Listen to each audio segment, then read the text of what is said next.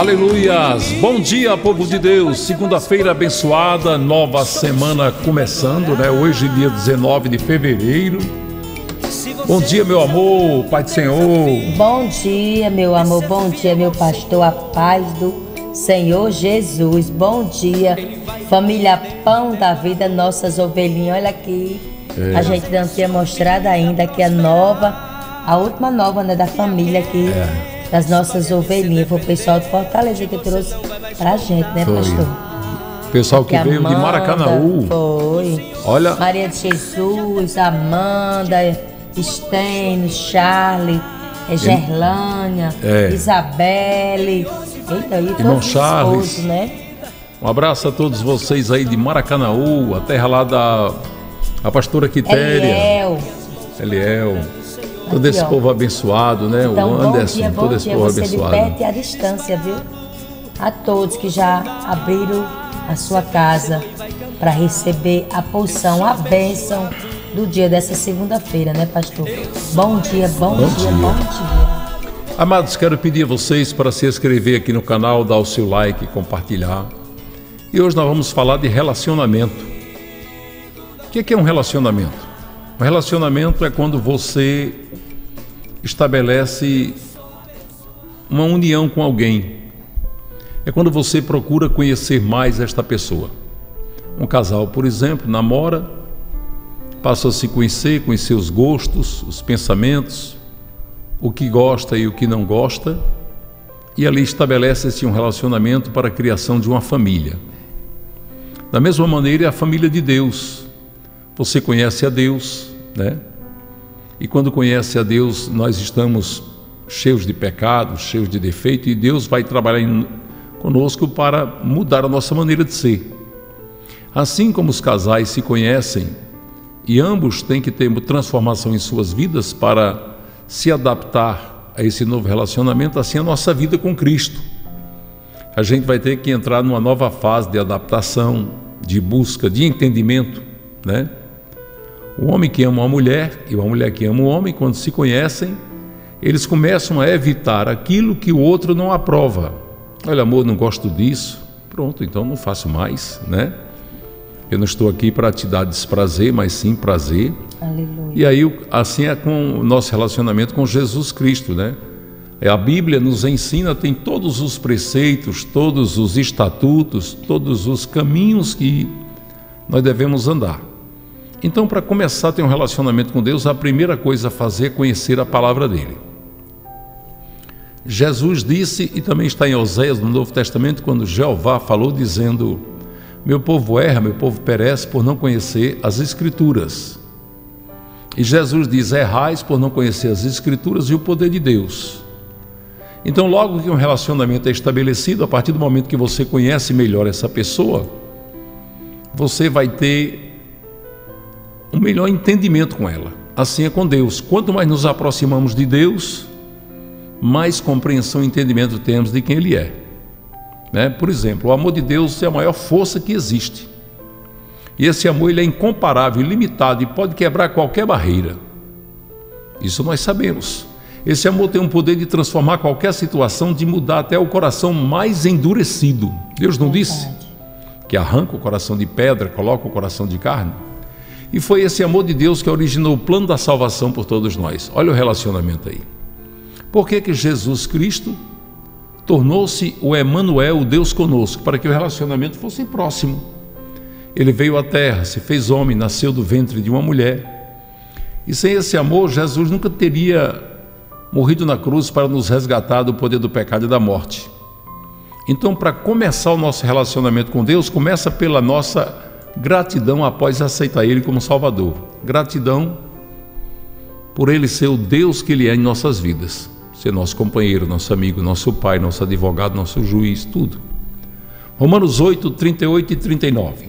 Pois estou convencido de que nem morte, nem vida, nem anjos, nem demônios, nem o presente, nem o futuro, nem quaisquer poderes, nem altura, nem profundidade nem qualquer outra coisa na criação será capaz de nos separar do amor de Deus que está em Cristo Jesus, nosso Senhor. Aqui, amor, Deus estabelece com todos nós um relacionamento indestrutível. Nada. Você vê que ele diz: nada pode nos separar do amor dele. A única separação que pode existir entre nós e Deus é quando nós decidimos não caminhar com Ele. Mas mais ninguém pode fazer isso. Porque na verdade, irmãos, não há nada que você possa fazer para Deus deixar de te amar ou te amar mais do que Ele já ama. Por quê? Porque o, o amor dele é absoluto. A decisão dele de nos amar é absoluta. Olha o que diz João 3,16. Porque Deus tanto amou o mundo que deu seu Filho unigênito, para que todo aquele que nele crê não pereça, mas tenha a vida. O único filho que Deus tinha até aquele momento da cruz era Jesus. Nós éramos criaturas, criação de Deus, mas não éramos filho. Nos tornamos filhos por adoção pelo sacrifício de Jesus Cristo. E ele pegou o único filho dele e mandou para a cruz, porque havia uma necessidade de o sangue de um cordeiro puro, imaculado, sem pecado, ser derramado para nos cobrir os pecados. E foi esse sangue, esse sacrifício que fez a aproximação.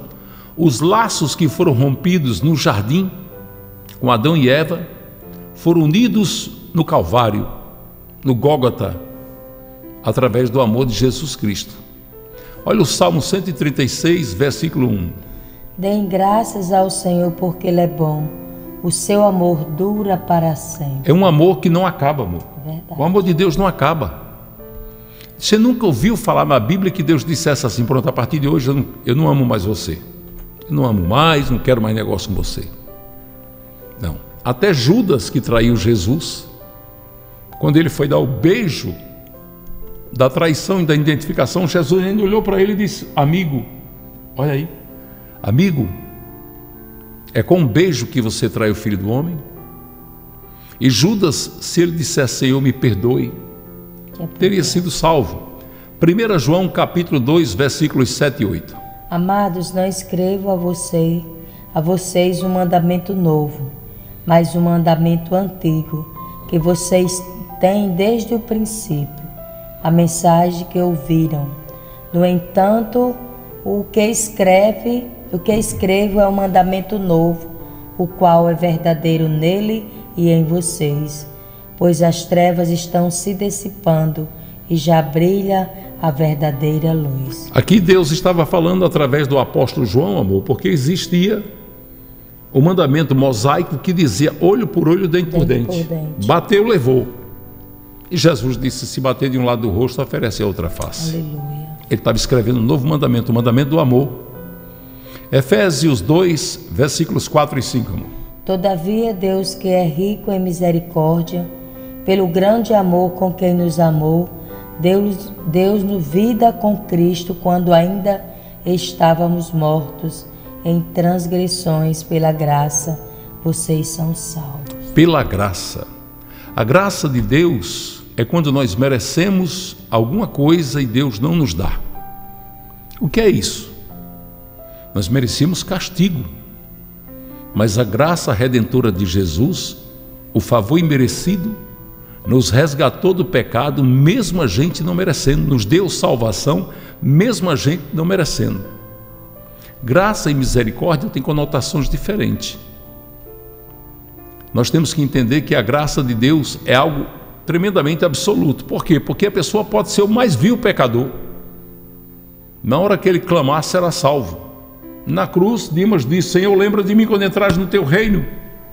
Aquele homem tinha uma vida de pecados, de crimes. E Jesus disse: Ainda hoje estarás Aleluia. comigo no paraíso. Olha o que consiste o amor de Deus. 1 João 5,3. Porque nisso consiste o amor a Deus, em obedecer aos seus mandamentos. E os seus mandamentos não são pesados. Pronto, aqui é onde está o segredo Aleluia. do relacionamento com Deus. Por exemplo, eu posso ter um relacionamento com a minha esposa bom ou ruim. Bom, se eu agradar a ela e ela me agradar. Nós vamos ter um bom relacionamento, vamos nos amar, vamos sentir saudade um do outro, vamos querer estar juntos. E um relacionamento ruim, se houver muita contenda, muita briga, muita confusão, né? muito desprazer. Que a gente sabe, amor, que tem casais que quando o homem sai de casa, a mulher dá graças a Deus. É. Por quê? Porque ele saiu, porque acabou a contenda. Mas o nosso relacionamento com Deus ele é estabelecido em cima dos mandamentos, dos Aleluia. preceitos de Deus. Deus ele se relaciona com você, comigo, com a pastora, e coloca aqui a palavra dele. Pronto, você quer continuar sendo bem relacionado comigo? Está aqui. Faça isso aqui e está tudo bem. Olha aqui, Romanos 5,8. Mas Deus demonstra seu amor por nós. Cristo morreu em nosso favor quando ainda éramos pecadores. Pronto, Deus nos deu Jesus para nos salvar, para nos resgatar do pecado. Mas eu posso continuar no pecado? Não. Ele nos tirou de lá para sermos o quê? Nova criatura. Eis que tudo se fez novo. Aleluia. E a partir de agora você já é nova criatura. Deus está dizendo assim: olha, o que passou, passou. Os seus pecados, as coisas antigas, eu jogo tudo no mar do esquecimento e ele diz mais: não me lembrarei mais disso. Olha o que escreveu o apóstolo Paulo em Gálatas 2:20 foi crucificado com Cristo. Assim já não sou eu que vive, mas Cristo vive em mim. Aleluia. A vida que agora vivo no corpo, vivo pela fé no Filho de Deus, que me amou e se entregou por mim. Se entregou. Aleluia. Você já pensou, já parou para pensar assim? Jesus estava no trono de glória, adorado pelos anjos, ao lado do Pai dele.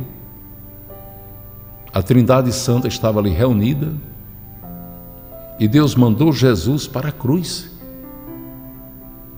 Jesus, o dono da prata e do ouro, nasce e tem como berço um coxo de dar de comer animais, uma manjedoura. E a sua vida está entre dois dois paralelos, um a manjedoura, o outro a cruz.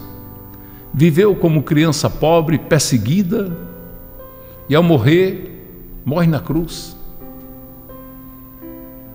Isso é forte, não é não? Se a gente for pensar, amor, tem que agradecer muito a Deus. Verdade. Olha aqui, amor, em 1 João 4, 9, 10 e 11. Foi assim que Deus manifestou o seu amor entre nós. Aleluia. Enviou o seu Filho unigênito ao mundo, para que pudéssemos viver por meio dele.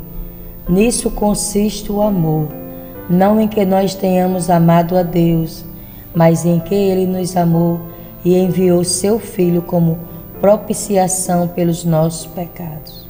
Amados, visto que Deus assim nos amou, nós também devemos amar uns aos outros. O peso, o peso de não amar, o peso de odiar é muito grande. Você sabe disso. Eu estou falando aqui e sei que essa oração Aleluia. da manhã ela vai de encontro a pessoas que odeiam por uma razão, por outra. E essas pessoas às vezes arranjam desculpas para continuar odiando. Não, não posso perdoar por isso, por aquilo. Arranja mil desculpas. E a pergunta é: você é feliz odiando? Aleluia. O seu coração cheio de rancor, de ódio, lhe faz feliz ou lhe faz sofrer? Quando você se lembra de alguém que você deveria perdoar e não perdoou, você se sente bem ou se sente mal? Deus ele deseja que nós tenhamos paz, que nós sejamos capazes de nos dominar e nos humilhar para dizer assim: Deus, eu não consigo tirar isso de dentro de mim, mas tira de dentro de mim. Deus quer o nosso brado de alegria. Livro do profeta Sofonias, capítulo 3, versículo 17. O Senhor, o seu Deus, está em seu meio, poderoso para salvar.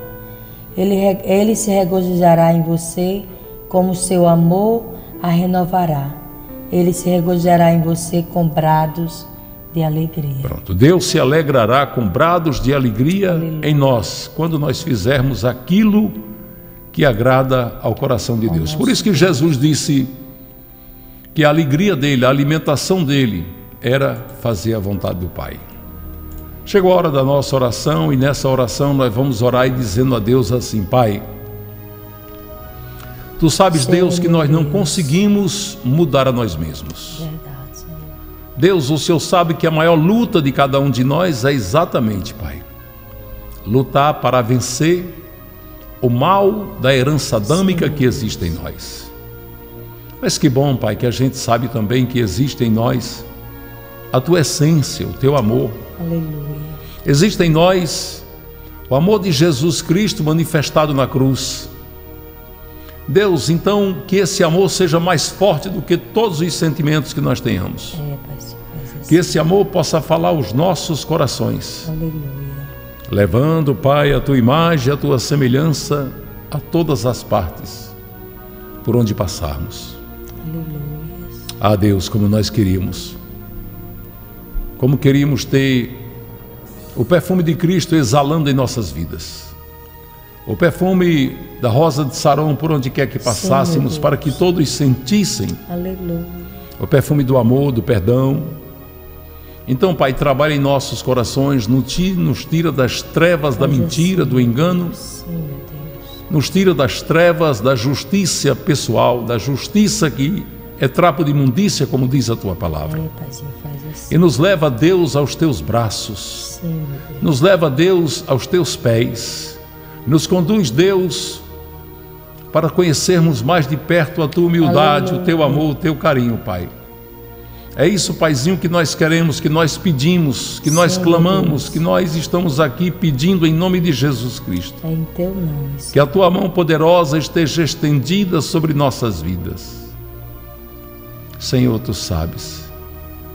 Tu sabes que nós precisamos do teu olhar misericordioso. Sim, do teu perdão, Pai. Olha para nós, Pai, e nos renova a cada dia, Sim. e nos faz parecido com o Senhor, nos dá um coração igual ao teu.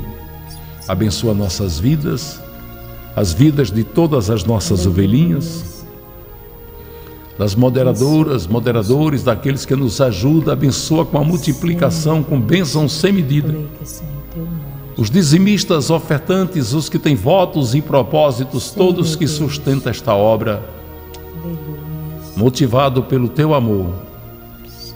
e pelo que essa igreja tem feito por amor a ti, Pai. É o que nós pedimos e já agradecemos. No santo e poderoso nome de Jesus. E Deus, nós pedimos, não nos deixe caminhar sem a tua presença. Não nos deixe caminhar sem a alegria de estar te servindo. Que o Senhor Jesus nos mostre todos os dias assim. o caminho a ser seguido. É. Amém. Amém, Jesus. Glória a Deus. Louvado seja o nome do Senhor. Aleluia. Muito bem, amados, nosso coraçãozinho apaixonado por Jesus e por vocês. Por você. Olha, beijo carinhoso. Muito obrigado. Cada um, Obrigado, irmão Stêndio, toda a família aí pela ovelhinha nova. Deus abençoe vocês aí, Maracanã, né? abençoe. É. Continue conosco, compartilhando. É. Hoje está de volta, hoje começa o primeiro dia da última semana da campanha, debaixo da poderosa mão de Deus. É o que, amor? Isso. Né? Você ia falar isso, era? Era. Pois pronto.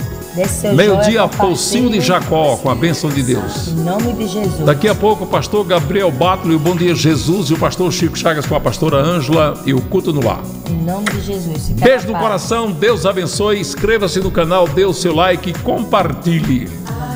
Boa semana, que Deus te dê uma semana muito, muito abençoada. Cheia do Espírito Santo, que Deus atenda os desejos do teu coração. Amém. Obrigado, igreja. Deus abençoe.